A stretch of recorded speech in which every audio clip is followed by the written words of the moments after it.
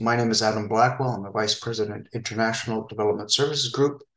And on behalf of the team at the Global Terrorism Trends and Analysis Center, I'll be moderating this session titled Understanding Al Shabaab's Mass Attacks in Somalia.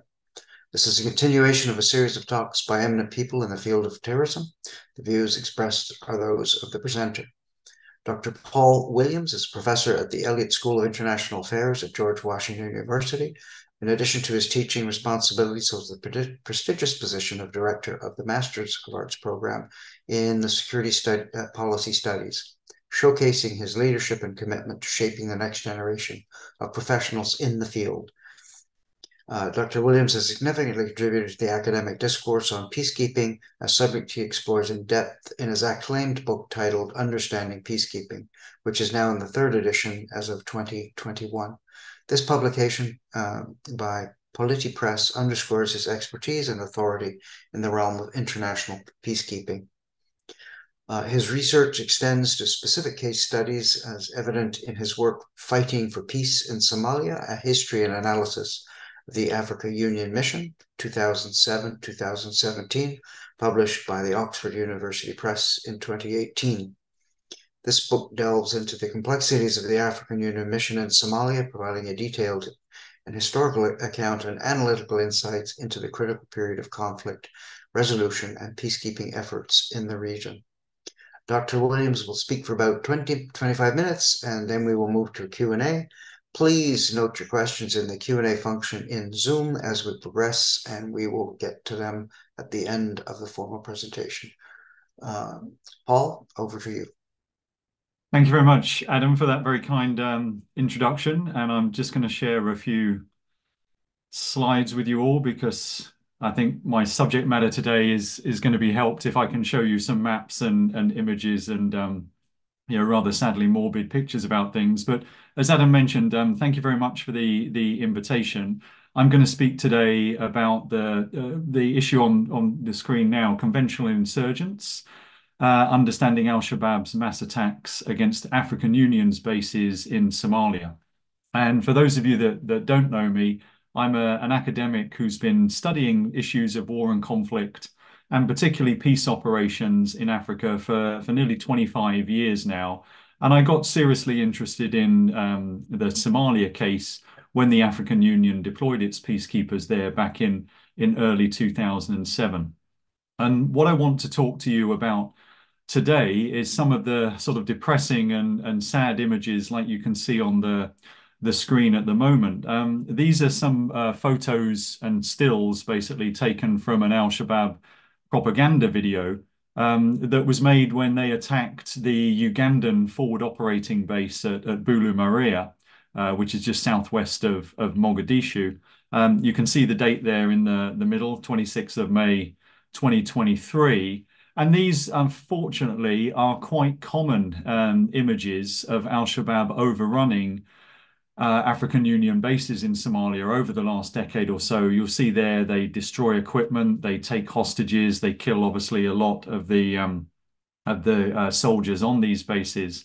And what I'm going to talk to you about specifically is an article that has probably spent me about 10 years um, working on now, and before it was published earlier this year, looking at the reasons why Al Shabaab was so successful in overrunning nearly half a dozen of these African Union forward operating bases.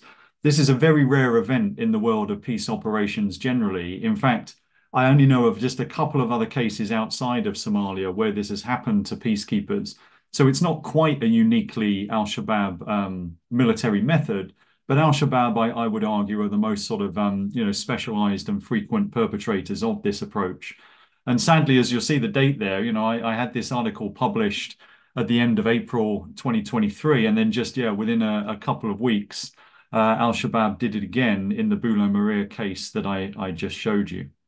Now, um, why Somalia and why the African Union? For those of you that are not as much in the the weeds maybe of this case as as I am, I'd just like to give you a little bit of background on you know why this mission is an important case for us to think about.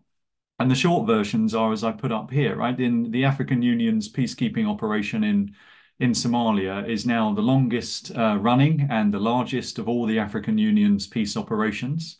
uh, deployed in 2007, just within three years, it became the world's most deadly peace operation by a considerable margin for the, the reasons partly that I'm, I'm going to talk about now. Um, it was also costing a lot of money. By 2014, when the mission was over 20,000 um, uh, troops strong, it was costing various international partners about $1 billion a year to keep the mission running.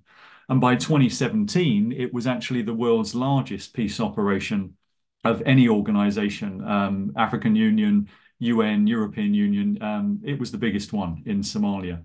And as a result of those things, it became a key case study, I would say, for a lot of wider debates about peace operations, particularly the relationship between peacekeeping and, and counterinsurgency. And as you can see from this picture here, this is how you know the, the AU's mission in Somalia has always started off, right? It's really more about counterinsurgency and protecting the transitional government in Somalia than really traditional peacekeeping. And you may recall that when the mission first arrived in Mogadishu in, in March 2007, it was comprised of just one troop contributing country. Uh, Uganda was the only country to send troops um, and deploy in Mogadishu. And it deployed about 1,600 soldiers. That was two battle groups at the time to the four places that you see here. Um, the peacekeepers helped basically secure the airport, the seaport, and then Villa Somalia, which is the, the seat of government where the, the transitional government was based in, in Mogadishu there on the top right. And what's called K4 uh, traffic junction, basically the main road system to drive from the airport to Villa Somalia, you needed to control the K4 junction. And that's how AMISOM started off its life in 2007. And since then, it basically grew um, rather slowly. As you can see here, this is a chart showing the timeline of how many soldiers were deployed in the mission. And as you can see down here at the bottom, um, initially it was only Uganda, and then Burundi joined them in, in the um, beginning of 2008. But it took uh, the African Union about three and a bit years to deploy the authorized strength of 8,000 soldiers to Mogadishu, which was the original plan. And for that reason alone, right, it only had a few thousand soldiers. It couldn't do much to escape Mogadishu. And so until the middle of 2011, AMISOM was only a peace operation deployed in parts of one city. But by the middle of 2011, and you'll see now it was up to about eight to 10, well, nearly 9,000 um, troops, they managed to push al-Shabaab fighters out of, of central Mogadishu in August of 2011 and take over the sort of um, the in surrounding suburban areas by uh, early 2012. And it was at that point that AMISOM spread to the image that you see here when the Ugandans and Burundians were joined by Kenyans, later Djiboutians and Ethiopians as well. And so by about, as I show you here on this map, by 2015, the mission had increased to about 22,000 soldiers, spread out not just in Mogadishu, but spread out across most of south central Somalia. Um, this is an enormous geographic territory. Uh, if you're not familiar with the size of Somalia, what I'm showing you on this map here is about two thirds the size of Iraq. And remember how many thousands of, of troops the US had in um, in Iraq, you know, well over 100,000 plus. AMISOM's 22,000 troops were spread out in a large number of forward operating bases, um, represented here by the national flags that you see um, accordingly. And so in that sense, that's a very quick sort of version of how AMISOM grew from a very small mission based in, in the capital of Mogadishu to this much larger and sort of thinly dispersed force um, by the time we get to the subject of my talk, which is the attacks by al-Shabaab. And we must remember that you know, the reason al-Shabaab was attacking AMISOM was that this precisely wasn't an impartial peacekeeping operation. The African Union took sides in the war in Somalia.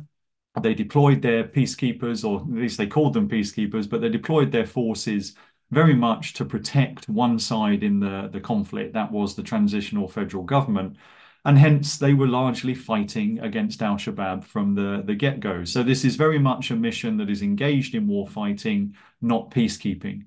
And it's for that reason why I would argue that the African Union should have expected that Al Shabaab was going to try and attack it by whatever means it could and um, whatever it could. And that brings me to the, the focus of, of my talk and, and the article that I, I just mentioned, And that was an analysis really of, of Al Shabaab's military methods, and particularly one of the methods that have been very successful. So if you take that AMISOM story that I've just told you and sort of do it in reverse for, for Al Shabaab, if we think of Al Shabaab's military methods from 2007 until the end of 2011, Al Shabaab was mainly playing on defense in an urban warfare context, right? Defending parts of Mogadishu, Kismayo, and some other places where it was um, it was based. But after it's kicked out of Mogadishu and later kicked out of Kismayo as well, and by Baidoa and Beledweyne and a few other towns around um, south central Somalia, Al Shabaab's military methods shift from fundamentally, you know, urban defense into our more familiar terrain of, of guerrilla warfare, and that's where you know where they've been operating now for the last decade or so. What does that mean? It means they were engaged in all sorts of destabilization and, and sort of harassment tactics. They would regularly ambush convoys, they would assassinate individual targets, they would engage in sniper attacks against the African Union. They would engage in probing attacks, whether with grenades or, or mortars, and then quickly, um, you know, retreat. Their preferred weapon, I would argue, over the years became IEDs, um, including suicide bombers, um, you know, driving and, and working some of those, as I'll talk about. They engaged in commando raids where small numbers of their sort of elite fighters would um, go on effectively suicide raids against either civilian or military targets. But they would also engage in what I'm going to talk about now, which is more sort of conventional style mass attacks on African Union forward operating bases. And these would engage, you know, anywhere between sort of three to 500 Al-Shabaab attackers. So quite large um, formations in the context of the of the war in Somalia. And if you look at what um, Al Shabaab did in terms of these mass attacks, I'm only looking at the ones against the African Union. I should just put that up front. Um, Al Shabaab has also attacked a lot of forward operating bases of the Somali army, but I'm not analysing them uh, those ones in in this case here. The first ever attack Al Shabaab did on an African Union FOB was in 2012, and it ended in, in complete failure. It was against the Kenyans in, in Sector 2, and uh, they saw them coming. They basically, you know, defended very effectively, and Al Shabaab attackers were decimated. But after a couple of years of rethinking their tactics, Al Shabaab returned now with a new set of successful methods. And between 2015 and 2017, and then again in 2022, and then again in May of 2023, as I just mentioned, Al-Shabaab effectively overran half a dozen of the African Union's um, operating bases in Somalia. And my best estimate is that it killed in those six um, or seven cases uh, over 500 peacekeepers and wounded um, scores more. And my argument, if you boil it down to its essence, is basically that Al Shabaab was successful for a combination of, of reasons. And that combination was to do with the African Union's weaknesses and some Al Shabaab tactical innovation that, that really worked quite well. And so, just to, to give you the lie of the land in terms of which attacks and, and battles I analyze, in the article version, I focus mainly on the, the six battles that I've listed here at the top, and I've, I've put them on the, the map on the, the right hand side for you. Of these six battles, all of them except the one of green, in green, the, the case of Halgan in 2016. Um, in the five cases in black, Al Shabaab successfully overran the African Union base and killed a lot of the soldiers that were, you know, guarding those um, that that FOB. In the green example, though, the Ethiopian defenders actually again succeeded in in repelling um, Al Shabaab attackers. I also look at you know three other cases in a bit less detail. The two cases uh, uh in Hosingo and, and Bula Maria in 2012 and 2018 were also examples of cases where the African Union troops successfully defended against Al Shabaab's attack. And then the case I just started with earlier on, you know, after I'd published the article, a little while later, an attack on Bula Maria. I should say Bula Maria is, is just around here, uh, if you can see my my cursor on that map, and that was another Ugandan um, uh, forward operating base. So my analysis is based on those sort of six main battles and then some of those other ones as um, as mini case studies. And the argument is, as I said, it's a combination of African Union failures and Al-Shabaab successes. And what do I mean by that in a bit more detail? Well, If you look at how the African Union's forces were organized and the force employment tactics that they used, I would argue that this ultimately left a lot of vulnerabilities which Al Shabaab was able to exploit with sadly very deadly consequences. Uh, the first element of this is that the AU, as you saw earlier, was a, a, very dispersed force. It was spread very thinly across a massive amount of territory. At its peak in January 2017, there were 87 forward operating bases in the AU mission. Um, again, I said there was about 22,000 soldiers total. But almost all of these, uh, and this would be the second point, were stationed or garrisoned with very small contingents, normally company or company plus formations.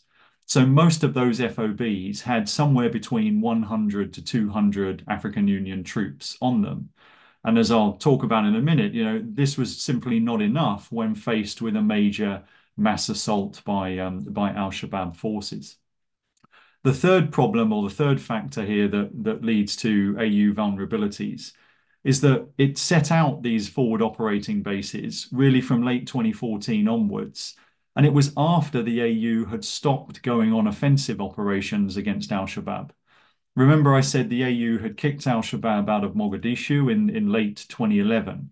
And for most of 2012 and 2013 and early part of 2014, the African Union was on offense. It was kicking al Shabaab out of various settlements in south central Somalia. But after this, it stopped. It, it, engaged in a period of what I call consolidation, and it became a much more static force spread across those 87 bases that I, I mentioned. And that took the sort of the, when they took their foot off the gas pedal, if you like, Al-Shabaab then was able to get back on, on track and was able to take the uh, initiative and, and conduct a number of successful offences against the AU forces. The fourth problem for the AU was that the bases that it did have were very poorly defended. Uh, the mission was generally under-resourced. As said, there wasn't enough personnel to cover this size of terrain. The, also, the design of the forward operating bases themselves had a number of problems. Um, the, the peacekeepers sadly didn't clear good killing ground areas around their bases. They had very poor perimeter defenses. The perimeters were too large. They were often literally circular, as I'll show you in a minute. And they also failed to get out and about and dominate the area. And I think I just want to show you a, a few photos and, and images to sort of make the, the point here about how poorly defended they were. This is a, a, satellite image of the forward operating base at El Ade. Um, this was based by, uh, staffed by um, Kenyan personnel. There were about 200 Kenyan soldiers on this base in January um, 2016 when Al-Shabaab attacked. And as you can see here, it's nearly a square kilometer in size and generally around perimeter, which is sort of the least defensible of all the shapes we could pick. Um, another example, this is the Bula Maria base um, in May of, of this year, 26th of May, um, when this is now Ugandan soldiers. You'll see here the, the settlement or, or town of Bula Maria. The African Union forward operating base is off to the southwest. Again, it's a round perimeter. It's quite large. In this case, it's very near a main road, which al-Shabaab exploited. And uh, yeah, this was a, a big problem. You'll see now that the AU finally learned a little bit about this. This is the forward operating base at Janale, again, a Ugandan FOB. Janale was one of the first forward operating bases to be overrun in 2015.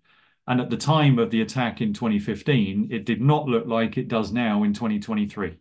It wasn't a good triangular forward operating base, as you can see here. Instead, um, this is what the Janale operating base looked like in the middle of February 20, uh, middle of 2015, when it was attacked by al-Shabaab forces. And that time it was overrun and most of the Ugandan soldiers were, were killed. I've circled here in red what you can see here, the very poor perimeter defenses there. It's just a couple of layers, if that, of HESCO barriers. Uh, and that was it, right? That was all the perimeter defense they had. Another example here is from the Kenyans, this time at the base in, in Kolbio on the, the Somali-Kenyan border. This one was overrun by al-Shabaab in early 2017. And again, if you look here up at the top left, you'll see the enormous perimeter. Uh, there were less than 200 soldiers stationed on on this one as well, and you know spread over a very large and poorly defended base. This bottom left picture here is is uh, still taken from one of Al Shabaab's propaganda videos of the attack, um, but it was yeah it, it makes the point that it was poorly defended. Um, a fifth problem for the AU was that they were basically a land force at the time. There was no aviation assets. There were no helicopters, either utility or um, or attack helicopters under the African Union Force Commander's control. In fact, it didn't get any of those until December 2016 when the Kenyans deployed a few helicopters in their own sector, but they didn't allow those helicopters to operate in other troop contributing countries' sectors. And so there was no prospect of um, a rapid response, if you like, or uh, you know aviation assets in the form of helicopter gunships coming to the rescue. So these FOBs were largely on their own because the only reinforcement they could hope to um, to have was was via land. They were also disjointed, as I showed you the map. The Ugandans operated in their sector, Kenyans, Ethiopians, Djiboutians, etc., did the same. And as a result, the mission was not able to coordinate effective cross-sector operations against al-Shabaab. And again, it meant when an FOB was attacked, it was largely on its own. The seventh point and fundamental problem, arguably, was that they didn't learn from earlier attacks. You know, those first successful attacks in the middle of 2015 should have been a wake-up call for the AU and how it organized its defenses, but it didn't. Uh, al-Shabaab continued to use the same tactics over and over again, and the AU proved unable to basically respond and adapt. And part of the reason, and, and the last point I would make here, part of the reason why they were poor at adapting was that the, the AU troops didn't get out and about really. They didn't dominate the terrain around their FOBs, and they didn't engage effectively with either local civilian populations or the Somali security forces in the area, largely because of, of issues of mistrust um, that I can talk about if you want later on. Um, and that leads us finally to the Al-Shabaab side of the um, uh, of the story here. If those were the AU's weaknesses and, and hence vulnerabilities, what was happening on the Al-Shabaab side to you know see successful forms of, of force employment? Well, the basic one sentence version is that they were able to exploit those AU vulnerabilities very effectively. And I would argue it's because of five major reasons. Um, the first one is organizational adaptability. Unlike the African Union, Al Shabaab was able to adapt its military methods. As I said, it, it fought largely an urban defensive war from 2006 to, to 2011. But after 2012, it successfully reinvented itself as a, as a guerrilla outfit. Um, now, I've obviously focused on the more sort of conventional mass attacks. But yeah, it, it was able to adapt very successfully in terms of its its strategies and, and tactics. Second thing it was able to do very well was exploit sanctuaries. And what I mean by that is there was areas um, where it was able to operate that were largely beyond the control of the Somali government, and hence al-Shabaab became the sort of de facto government in those areas. It was able to control local populations pretty effectively. It was able to cross very porous international borders, particularly with, um, with Kenya. And it was able to use very localized areas of territory to train its troops, prepare its soldiers, and, and even muster you know, forces for these specific attacks. Thirdly, it was able to exercise uh, surprise effectively, and it, it used surprise at both the tactical and strategic level. Tactically, its new tactics were to always attack these FOBs just before dawn. So while it was dark, about normally half an hour to 45 minutes before um, daybreak, that is when it would launch its, uh, its attacks on these FOBs. But also it had the strategic element of surprise. Um, I've looked at a whole lot of internal uh, AU documents discussing these issues, and, and fundamentally, the AU didn't predict that Al Shabaab would be able or even would try to overrun its FOBs. And so they didn't really seriously do anything to prevent it. And that was a real, you know, tactical error on the part of the AU that Al Shabaab exploited. And then fourth, and arguably probably, you know, the, the key one here, put all these things together. Al Shabaab was able to come up with a set of tactics that really worked. It developed new military methods after its failed attacks um, on AU FOBs in 2012 and 2013. And the key here was two things. Number one was using suicide vehicle-borne IEDs. So it started its, its attacks on these FOBs with two, sometimes three um, vehicles driven in um, to the gate areas or, or, perimeters of these AU bases and then exploded. Um, and it followed those in with waves of, in some cases, several hundred um, infantry and uh, technicals. Um, technicals, I should say, you know, being the, the word for like normally a Toyota Hilux truck of some sort with a mounted um, machine gun or, or heavy weapon on, on top of it. And Al Shabaab would often have up to half a dozen of these technicals involved in the um, attacks as well. But it was that combination of the you know dark just before dawn attack with VBIEDs and mass troops that really proved you know deadly effective against the AU. And finally, unlike the AU, Al Shabaab had an excellent intelligence network. It knew pretty much everything the AU soldiers were up to, um, their rotation cycles, their logistics supply cycles, they knew the potential routes that any rescuers or reinforcements might come. And so it attacked when it knew it was going to have the, the upper hand, whereas the AU, as you know, had to defend sort of all its bases all of the time. Al Shabaab just had to find the right circumstances once or twice. And uh, yeah, the, the net result of this was, by my estimates, uh, over 500 AU peacekeepers killed, and many, many more wounded. And uh, I'll stop it there and uh, hand back over to, to Adam. Happy to take any questions or, or things you would like to discuss. Thanks very much, Paul. Very interesting, as always. Um, I should have told you at the outset that I was actually in Somalia in the humanitarian assistance in the early uh, 1990s, and it seems we really haven't learned very much uh, 30 years on. But anyway, we have some good questions for you. If I can open it. Sure. In uh, in your view, how linked are the uh, Al Shabaab uh, complex attacks to concurrent operations? For example, in the 2014-2015 attacks that occurred during Operation Eagle and Indian Ocean, El Ade in 2016 and Kolbio came when the Juba corridor was underway. And finally, Sil Baraf in 2022 came in the run up to the planned operation in Middle Shabelle, and Bulumerer uh, came in the middle of the community led offensive in Hirshabelle and Galmudug. I hope I got those names right. Um, excuse me, yeah, my I'm not known for my accurate pronunciation of, of Somali place names, uh, so apologies in advance. But yeah, that's a good question, um, Alistair. But, and I there's a sort of two part answer to it, in as much as I think a few of the cases were directly connected to what AMISOM was doing in terms of its operations, and the others I think were connected indirectly by default. And what I mean by that is, um, I think some of the attacks came because in the 2015 to 2017 period the African Union had stopped going on the offensive operations that you talk about there, right? Operation Eagle and, and Indian Ocean. And so I think the explanation for most of the Al Shabaab attacks is that AMISOM had stopped going on offense. Al Shabaab was no longer feeling on the back foot, and it had time to prepare, train, plan, and muster its forces to, to go after these, you know, what it thought was particularly vulnerable FOBs.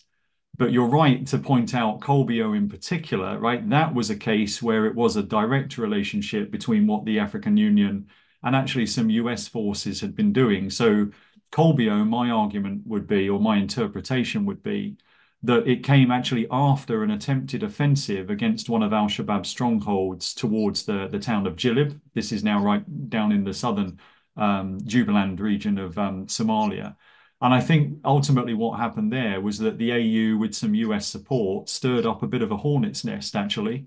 And the, the Hornets came back and counterattacked, and it was the Kolbio base that bore the brunt of that, um, yeah, that counterattack by by the Al Shabaab forces. Um, I know less about the situation in in Bula in in the lead up to May 2023. I wasn't following the the situation as closely there, but that's basically my answer to your question. Yeah, for most of the attacks, it came when the AU had taken their foot off the pedal, right, and were not doing offensive operations against Al Shabaab.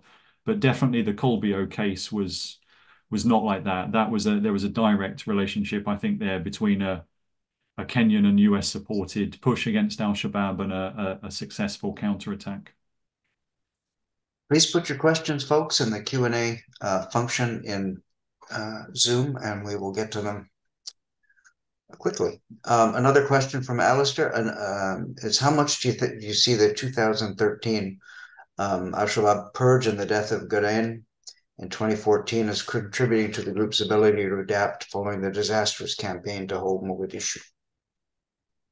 Yeah, another good question, Alistair. So, um, I mean, my answer to that would be, yeah, you had a you had a sort of different Al Shabaab in 2014, right, than you did in the years previous. And so the period that I'm looking at here, when they really go on offense against these bases, is 2015 onwards.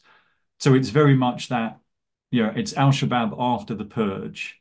I think it's a, a more focused organization after Godane's death. I think, you know, they're they're much more purposeful in that they feel they've rooted out the sort of um, you know they've got rid of the non-true believers they've got rid of the sort of um, uh, you know people that they didn't think were were quite as committed to the cause. And i think here that you had quite a you know a unified and coherent al-shabaab that was able to plan to punch the african union in what it saw as a key vulnerability. Um, i think that's a yeah an important part of the the story.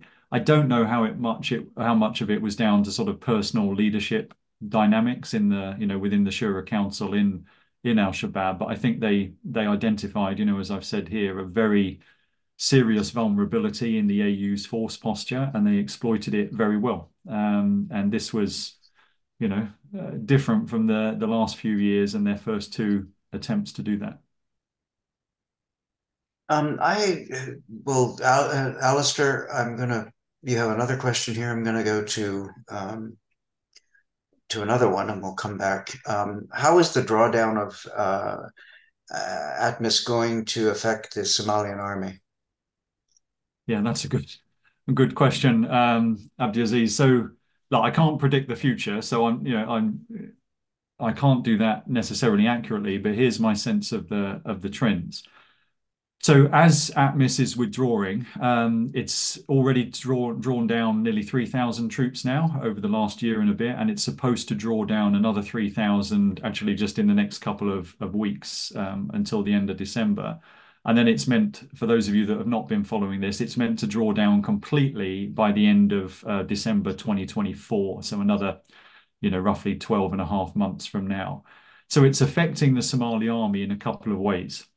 Number one is that the forward operating bases I've talked about here, some of them are being handed over directly to the Somali army, and some of them are being closed down. So the first question for the Somali army is that they're going to have to inherit at least some of this very dispersed footprint of, of forward operating bases that I've you know just described. That, in my opinion, is a sort of worrying responsibility for the SNA, um, the Somali National Army, to, to take on.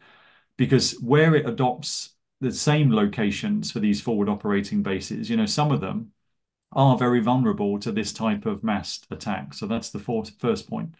The second point is it's showing some important differences in sort of, um, I suppose, strategic and operational culture between the AU and the Somalis, in that the positions that the African Union has put its bases in are not always the positions that the Somali army would want to have its bases. Now, the, this varies from place to place, but the sort of the generic answer here is that, as I showed you in the picture of um, Bulo Marer and, and Janale, if the local settlement or town is sort of here, the, the AU has always put its FOBs quite a bit away from the the local population and a bit out, you know, further either along a, a road artery or, or further away. And that's because they may not be able to speak the local languages as well. They're not as comfortable mingling with the local populations. Whereas I think the Somali National Army would be much more comfortable operating at sort of different areas and often closer proximity to um, Somali settlements. So that's going to be an argument. And then the third thing that, of course, is happening is well, this is this is reducing the military force that is fighting Al Shabaab. And um, last time I checked, you know, the, we're not militarily defeating Al Shabaab with all the forces we've got in the field. So reducing those forces by another 3,000 is going to put a lot of additional pressure on the Somali army as it faces um, as it faces Al Shabaab. So I think those are the main reasons or main factors of, of how it's going to affect the the Somali National Army. Excellent. We have another uh, question here. Um, how much, if at all, do you think a lack of international humanitarian assistance has made it uh, the people reliant, dependent on Al Shabaab? What, what's the relationship there? I mean, so I don't think it's all down to humanitarian aid, but you're right to say that this is a, you know, there are large parts of South Central Somalia where it's very difficult, if not impossible, to access. And it's really difficult to access even in like when it's dry and the the places are not flooded and things like this. So it's it's very difficult in general. I think though Al Shabaab has benefited by the fact that there's a lot of local populations that are caught in a very difficult dilemma.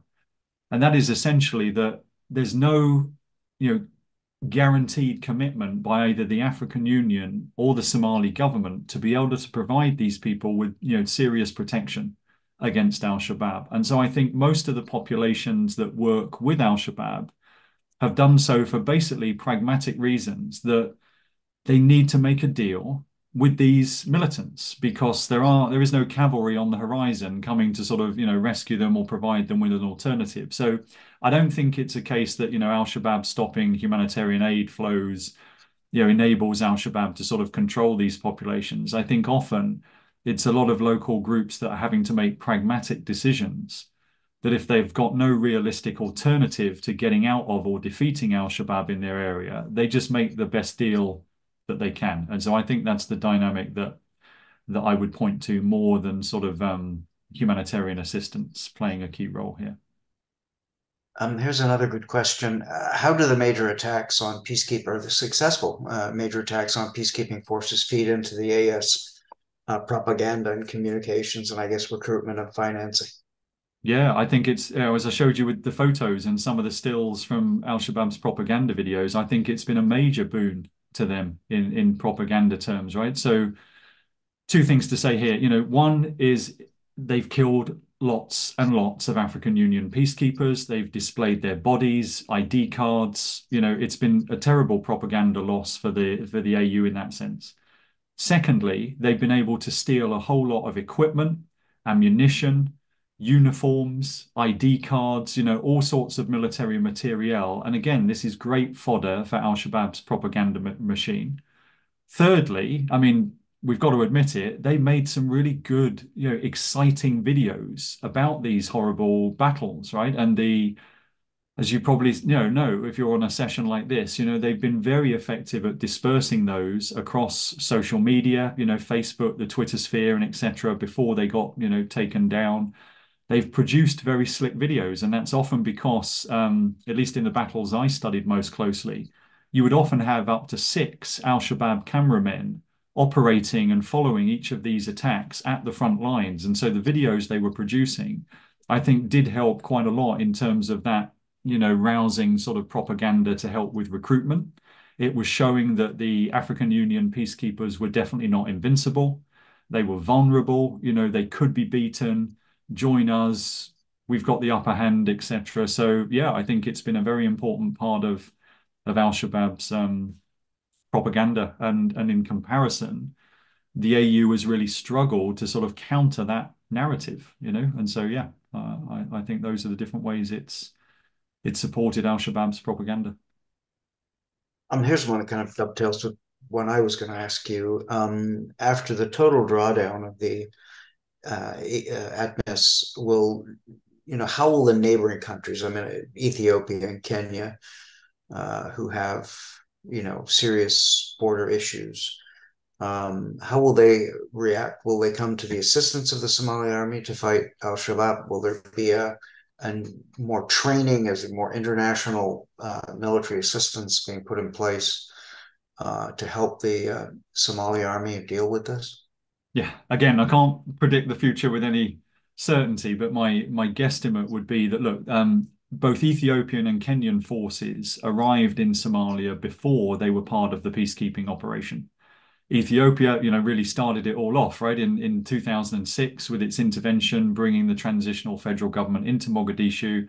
It's actually that Ethiopian intervention which is the reason we have al Shabaab in the form that we have it today right? It was Al Shabaab rallying Somalis against the Ethiopian invasion of 2006 that really made Al Shabaab go from a tiny fringe, you know, extremist element to a massive national resistance movement almost, right? So same with Kenya. Kenya intervened unilaterally initially in, in 2011 and didn't join the African Union mission until later. So my argument or my my guess about the future would be just because you close down ATMIS doesn't mean that the national security threat from Al Shabaab for both Ethiopia and Kenya goes away.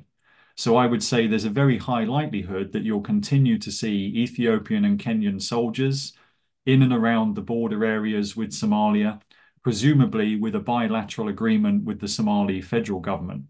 So yeah, I think that's that's very likely to to be the case even after ATMIS ends. And I would also argue, and I've written at least once, that I think there's a high likelihood that the Somali federal government would also make a bilateral deal with Uganda. Um, so that Uganda could retain some troops. Um, they they have developed, as as I've said, you know, from 2007 till 2023, the Ugandan military has been operating in Mogadishu and Sector One um, of the of the mission, you know, down the coastline and they have built up a lot of important and valuable military experience of how to fight against Al Shabaab. Now, they've lost a few battles, as I've I've shown you here, but overall, they're a, a very good outfit, and um, it wouldn't be surprising to me that even if ATMIS ends, the federal government of Somalia might ask for a number of Ugandan soldiers to um, continue either, as Adam mentioned, you know, in a in a training and assisting and mentoring role, or maybe even more sort of direct um, you know engagements. But that's that's my guess. I, I can't predict the the future.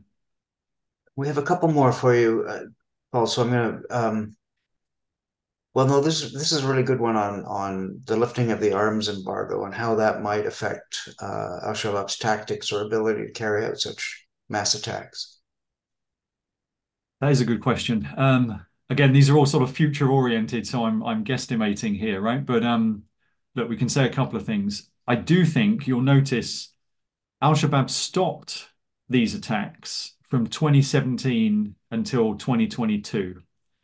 And it did so, at least against the African Union, I should be clear. It did a few against um, the Somalis. But I think a major reason why was that the Trump administration in the United States really significantly increased its airstrikes against not just targeted sort of leadership decapitation strikes against Al Shabaab leaders, but it really ramped up the number of airstrikes it was um, targeting against the rank and file of Al Shabaab's forces who had been able previously to muster and plan, you know, and, and launch these attacks quite effectively. There was a couple of cases where US airstrikes had actually hit some quite large numbers of Al Shabaab forces that were mobilizing for these attacks. Now, the, uh, the arms embargo is going to have no impact on that dynamic, right? That if it was sustained air support and airstrikes, which was part of the reason why Al Shabaab didn't do these attacks, then the arms embargo doesn't affect that equation, right? That's to do with American sort of decisions and now to a lesser extent Turkey, because Turkey is also operating some armed drones in um, in part of Somalia. But the arms embargo, excuse me, does have an impact on another area, and that's obviously the Somali National Army's willingness and capabilities to go on offense. So the Somali government will tell us that, you know, this is great that the arms embargo has been lifted. If it can get some access to some more heavy weapons, this is what sort of held it back against Al Shabaab. And now the lifting of the arms embargo should mean it can, you know, degrade Al Shabaab more effectively. I would tend to be a bit skeptical of, of that argument. I don't think it's a lack of weaponry that is the major reason why, you know, we've struggled to defeat Al Shabaab militarily. I think the fundamental reason there, as I said, is that Al Shabaab has adapted to become a very tricky, you know, slippery, effective sort of transnational network and a guerrilla network that operates very, very effectively. And they're very hard to catch and pin down and have any major sort of military engagement. So you can have a lot more armaments, but unless you can engage Al Shabaab in sort of decisive battles, you're not going to be able to bring that military, you know, equipment to bear in the most effective way. And so that I think is the challenge, and that's not really, you know, down to whether the arms embargo is lifted or or not. Okay, Paul. Uh, last question. I'm going to try and um, bundle a couple of here. Um, You mentioned earlier in your presentation that the uh, AMISOM uh, forward operating bases were highly dispersed. Why was that? Was it because of the limitations of the Somali forces uh, in and of themselves? Or was it some kind of strategic um, decision, error? Um, you mentioned the airport and the port, which makes sense. Um, and given, you know, the weaknesses of that highly dispersed nature, will that inform other peacekeeping uh, lessons learned? And will this change or impact, influence uh, the African Union uh, doctrine? Yeah, good question. I'll I'll try my best. So the reason they had dispersed forces was, I would argue, flew, flowed from their doctrine, right? They were they were trying to follow, actually, sort of closely borrowed a sort of U.S.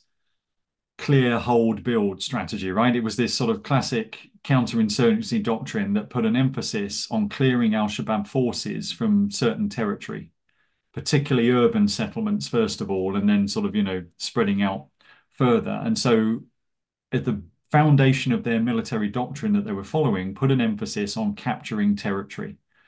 So that is why I think fundamentally the AU used to spread its forces over such large areas because it thought that if you put a company of soldiers near these you know settlements as I, showed you on the map that that would somehow you know gain the territory. Al-shabaab would be cleared from those areas and then we could build a sort of peace dividend and you know reconstruction through a set of stabilization um, mechanism. So it's i think you know it fundamentally privileged territorial expansion over the degradation or the defeat of al-shabaab's military capabilities and an example here is that in, in 2012 and 2013, for example, the Ugandan forces went on offense against Al Shabaab, but they did so without FOBs. They went mobile for weeks at a time, actually, in, in some campaigns. And so this was a choice that I think flowed from their military doctrine, right? Now, I would argue, you know, what is the strategic utility of all these little forward operating bases with a company of soldiers on them, often who couldn't speak the local language of the local populations?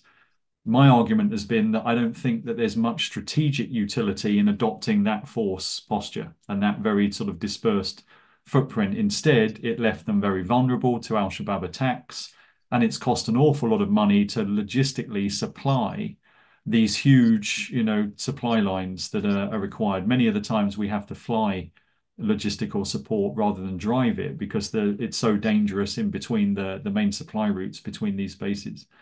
So my hope, and then the final part of your question, my hope would be that this is not replicated very often in the world of, of peace operations. I think this it's very dangerous to spread your forces out so thin when you're facing an enemy like Al-Shabaab. But if we look to the Sahel, Uh, or the Lake Chad Basin. You know, I, I wouldn't want to see this posture adopted against Boko Haram or JNIM or you know the Lord's Resistance Army as it was in Central Africa. I think if you if you are going to go on offense against these types of groups, you don't want these you know dispersed static forces of FOBs that are trying to well, I suppose, be a bit like the American military. Um, you need to stick to the strengths of the the local African armies that we're using here, which are more, I would argue, more mobile and sort of, um, you know, yeah, mobile types of offensive operations. Paul, that was a wonderful presentation. I learned a lot, and I'm sure everybody listening in did. We're very grateful for you sharing your time on a Friday afternoon. Um, wish you a good weekend, and I would like to thank you from behalf of everybody at GTAC for your your presentation, and thank everybody for listening in. And stay tuned. We hope to have another one earlier in in the new year. So, uh, Merry Christmas, Happy Holidays to everybody, and we'll see you back um, in 2024. Thanks very much, Adam. Thank you, Paul.